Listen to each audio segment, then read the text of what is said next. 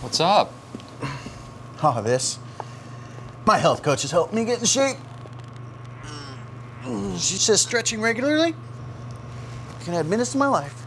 Did your health coach happen to mention anything about that double bacon cheeseburger with extra mayo?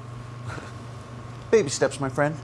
Baby steps. At Group Health Cooperative, we use innovation and preventive care to help people live longer, healthier lives. Learn more at findmoreminutes.com.